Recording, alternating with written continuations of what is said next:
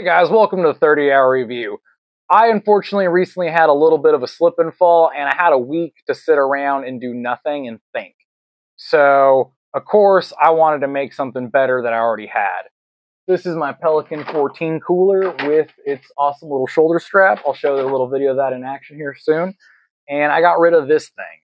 This thing was bothering me. It just I hated carrying this thing around like attached to that. It just felt awkward. It felt like I was carrying a toolbox more than anything. And that got really annoying really fast.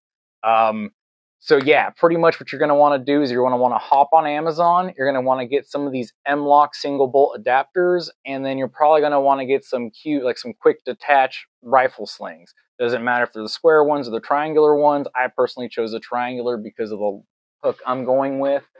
And then I went with this tactical strap that I got off Amazon. I probably should have spent a little bit more. The hooks on them are made out of plastic.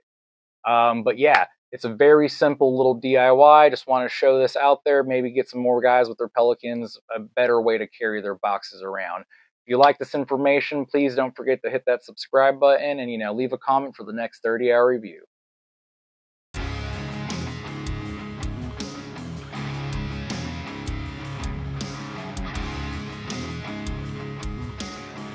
Alright guys, so we just started off by simply taking off that. I don't know the Allen key size, I just reached in the drawer and found one and it seemed like it fit and it did.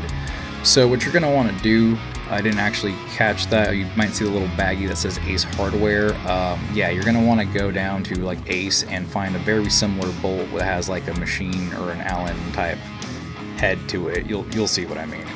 Either way, uh, you're just going to want to drill out the back of these M-LOK adapters, or these swivel mount adapters as they're called. Just whatever will fit your threads for whatever your replacement hardware is. Again, I went to Ace um, and just asked a couple questions and they helped me out.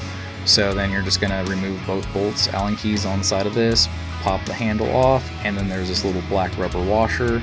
Pop that guy out. Yeah, you're going to need them. Um, but yeah, it's pretty straightforward. You just sandwich it all in between. It makes a nice little recessed place to drop in your swivel mount. See what I mean? Just bam. Perfect. Yeah. Super smooth. And then you just, you know, use a screwdriver and screwdriver it in.